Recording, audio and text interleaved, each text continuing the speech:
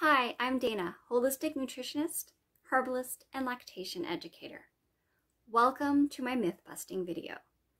Today's myth is the notion that all it takes to learn about essential oils is to do a quick Google search or read a book on the topic.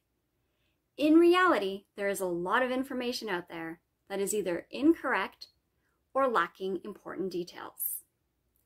Aromatherapist and herbalist must study the chemistry, therapeutic, and toxic effects of essential oils.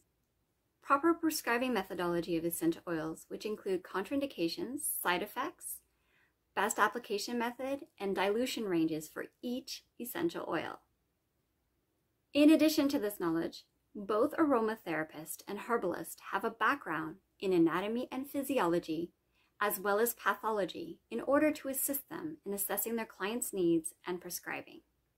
Not having this education can leave one vulnerable to misinformation, misunderstanding, and lacking key information needed to assess information found on the internet and in books.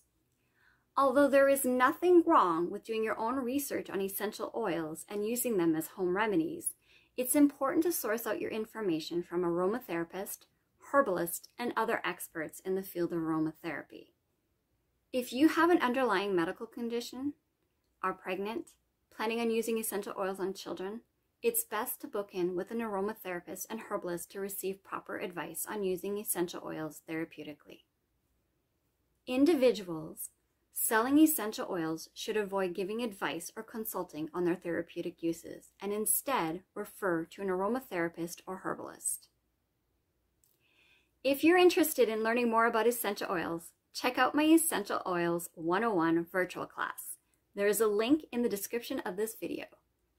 Don't forget to subscribe to my channel for future videos.